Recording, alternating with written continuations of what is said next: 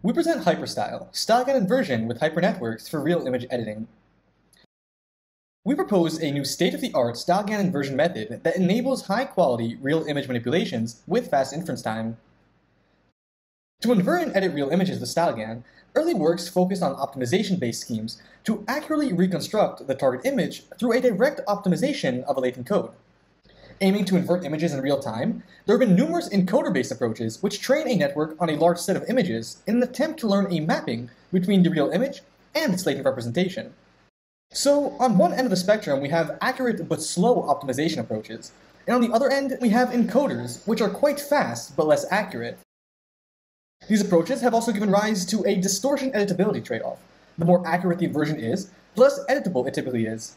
Some works, such as Tov et al's E for E, attempted to balance this trade-off by encoding into well-behaved regions of StyleGAN.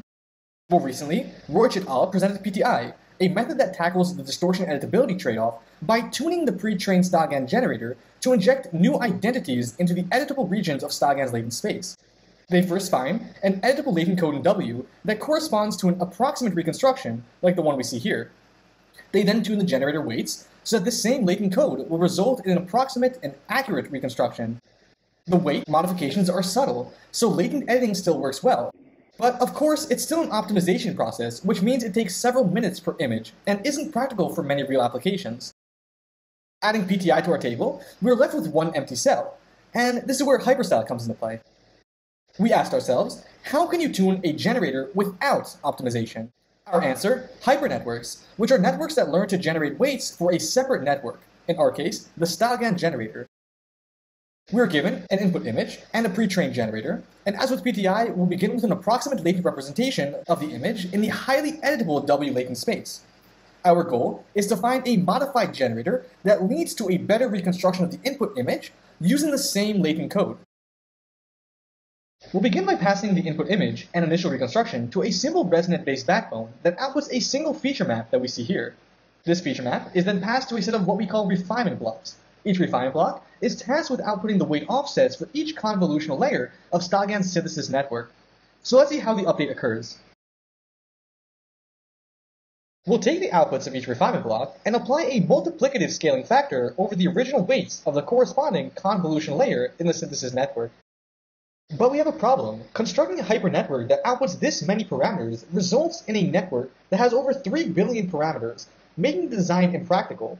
So we need to find a way to more intelligently design our refinement blocks. First, a lot of the refinement blocks have the same output size. Therefore, we can share weights between these layers. This reduces the number of parameters by about half to around 1.4 billion. And we'll also get the bonus of information sharing between the layers. But the network is still quite large. Next, we'll learn an offset for each convolutional kernel rather than learning an offset for each parameter. This will decrease our network to around 300 million parameters, which is in line with standard encoders used today, such as PSP and E4E. So let's put everything together. We'll take the outputs of our refined blocks, update the pre-trained StyleGAN generator using our update rule, and obtain the modified generator. When we pass the W latent code corresponding to the initial reconstruction, we'll get the improved reconstruction that we see here on the bottom. And let's see the difference. This additional freedom leads to a higher fidelity reconstructions, which we can see here. These animations are generated by interpolating the latent codes and weight offsets that are returned for each input image on the left. And since we don't change the original latent space, we can apply the StyleGAN editing techniques even with our new generator by simply applying them to our initial W code. And Hyperstyle can even work for editing other domains such as cars and wild animals. An interesting question to ask is whether hyperstyle could help encode out-of-domain images, such as toons and sketches. Standard encoders are confined to existing latent spaces such as W and W+. Therefore, when encoding challenging out-of-domain toon images, they'll try to reconstruct the most similar realistic face image like we see here. By learning to modify the generator, Hyperstyle is given more freedom to determine how to best project an image into the generator, even when out of domain.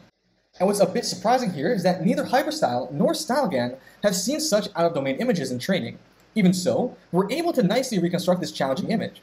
This hints that Hyperstyle does not only learn to correct flawed attributes, but rather learns to refine the generator in a more general sense.